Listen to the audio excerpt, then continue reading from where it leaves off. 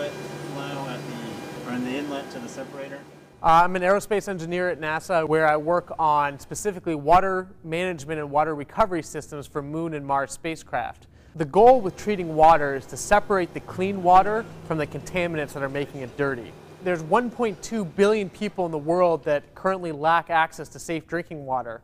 And that's huge. There's one out of every six people in the world are drinking contaminated water that can be relatively easily treated.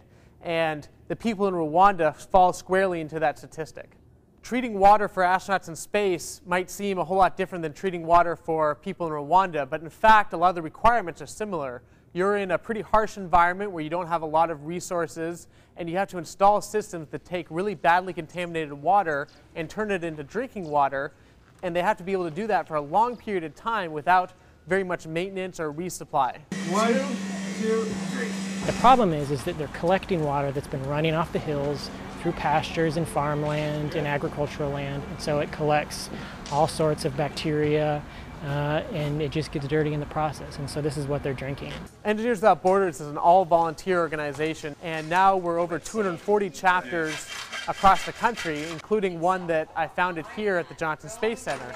Uh, the Johnson Space Center chapter is made up of engineers and astronauts and educators and scientists who are all working in their spare time on the evenings and weekends and taking vacation time to do these projects around the world. We tested the water uh, before our systems were put in and it was nearly uh, the equivalent of drinking raw sewage with the, the bacteria formations that were, that were in that water. And so you can imagine the sickness that develops from drinking that kind of water every day. So our focus in Rwanda and a lot of the communities we work in is just to clean up that water. Uh, we are out here pretty much every Saturday from 10 a.m. till about 4 in the afternoon. It's just as with the space program, sometimes we have to do a lot with limited resources, and that's exactly what we're trying to do here. The, the people have so many other problems. Water is just one small problem on a list of 100 things that they're doing to survive every day.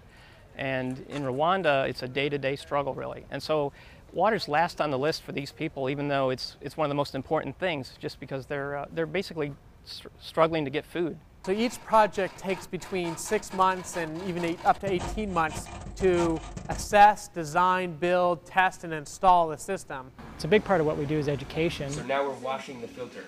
Teaching them that by drinking clean water, they're not going to be as sick. Uh, but that's, that's the norm. Their, their lives are lived in sickness. So the system that we've designed here uh, it's pretty simple, and it's technology that's been around for hundreds and hundreds of years, and that's just running water through gravel and then through sand to basically remove that dirt out of the water. Um, once you get all the dirt out that you can see, though, there can still be small viruses, bacteria, little organisms, and so to kill those, uh, we use an ultraviolet light, and it just heats up those uh, small bacteria and viruses and kills them basically. A lot of what we do is take a particular water system that we implemented in Rwanda and change it slightly to implement in Mexico.